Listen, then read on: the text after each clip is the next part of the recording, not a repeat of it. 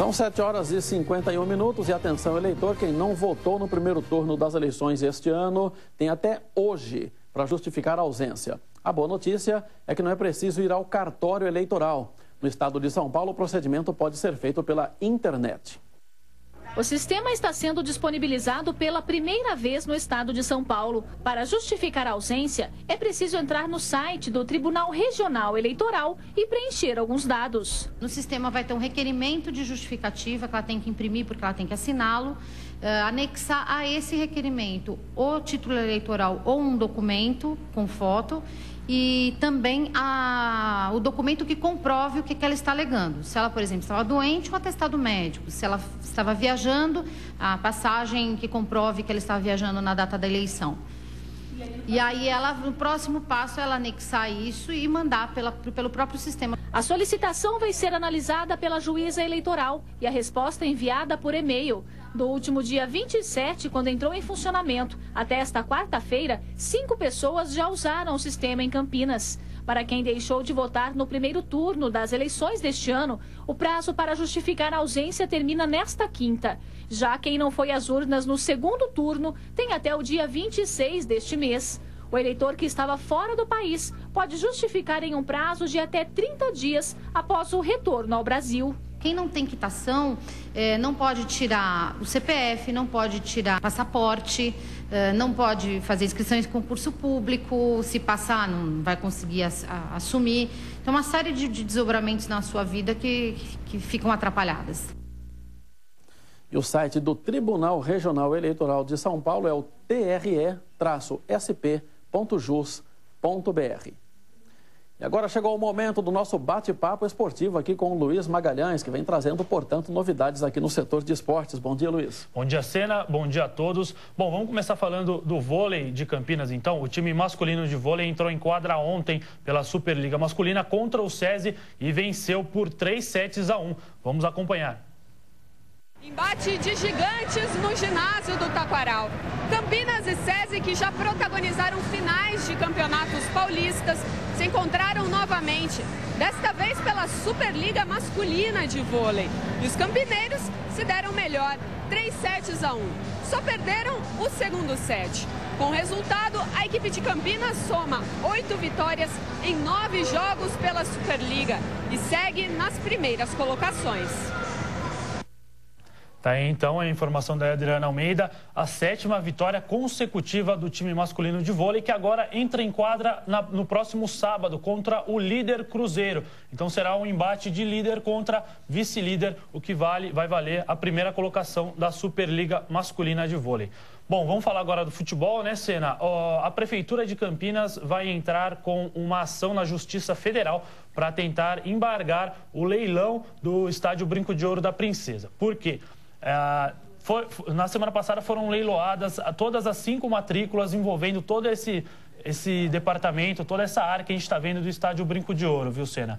Então, o problema, segundo a prefeitura, é que duas das matrículas, uma de, de um bosque próximo ao estádio e a outra do ginásio, não poderiam ser leiloadas pelo fato de, de elas terem sido doadas pela prefeitura ao clube. Então, elas pertencem ao município. Então, antes de leiloar, é, o clube não poderia leiloar, na verdade, né? Ele teria que devolver à prefeitura. Então, a prefeitura entrou aí com uma ação na justiça para tentar embargar é, esse leilão aí. Agora, isso aí pode, mais uma vez, desgastar toda essa parceria com a Magnum, né? Que foi quem arrematou o estádio por pouco mais de 44 milhões.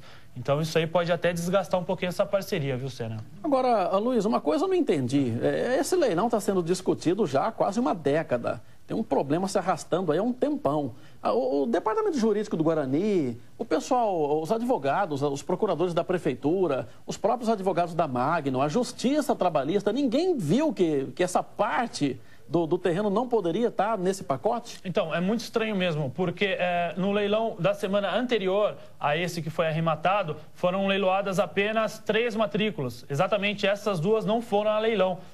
Então, ficou estranho, porque dessa vez foram todas as cinco. E aí, essas duas que não poder, poderiam ser é, leiloadas acabaram sendo é, passíveis de embargo, né? Então, ficou estranho isso aí para o time do Guarani. É, agora é muito estranho, né? Você ia dizendo também que isso pode comprometer a, eventual parceria aí entre o, o Guarani e a Magnum, né? Quer dizer, isso pode azedar de vez e a Magnum desistir de investir no clube? É uma possibilidade, Senna. Por quê? Porque todo o projeto imobiliário da Magnum envolve ali é, é, milhões, bilhões até, perdão, bilhões de, de reais. Então a Magnum perderia uma grana se ela desistisse do brinco de ouro. Só que, é, como a prefeitura está dificultando mais, a Magnum está encontrando mais dificuldades, mais obstáculos para colocar em prática seu projeto imobiliário, ela pode cansar e, e, procurar outros investimentos aí com mais facilidade, que tenha mais facilidade, né? Ok. Luiz, muito obrigado aqui pelas suas informações. E segue aqui o Acontece Regional. Professores da rede estadual estão indignados. O ano letivo ainda não chegou ao fim e faltam folhas de sulfite e até papel higiênico nas escolas. É o que o governo cortou desde o início de novembro as verbas para comprar esse tipo de material. A associação que representa os professores da rede estadual de ensino reclama que nas escolas já há falta de materiais. Gera uma grande preocupação, é por falta de papel higiênico, sulfite dentro das escolas. E o governo anunciou de, última, de, de repente. Outro programa afetado pelo corte de verbas é o trato na escola. Por ano, cada colégio recebe R$ 7.900 para fazer pequenas reformas e pinturas. De acordo com a diretora da POSP, as medidas surpreenderam os diretores, que não tiveram tempo para fazer reservas. E isso deve prejudicar o início das aulas em 2015. As escolas, elas deixarão de receber essas verbas, que elas deveriam estar fazendo todo um reparo nas escolas para estar recebendo esses alunos. Além do que, infelizmente, esse corte dentro da educação vai de contramão que foi aprovado dentro do Plano Nacional de Educação, onde deveria se ter mais investimento para a educação, na questão do investimento para os alunos, na qualidade da educação e também na formação de professores e no salário dos professores. Olha, a Secretaria de Educação do Estado afirmou que as medidas foram tomadas para readequações burocráticas e negou que haja interesse em reduzir gastos. Disse ainda que as escolas foram orientadas a fazer compras antecipadas para evitar a falta de material e que o crédito vai ser retomado em janeiro. E agora a gente confere rapidamente a situação das rodovias que servem a nossa região.